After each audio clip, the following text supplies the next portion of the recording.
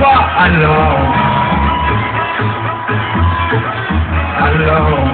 Qui dit études, qui travaille, qui dit taf, qui dit les thunes, qui dit argent, qui dit pas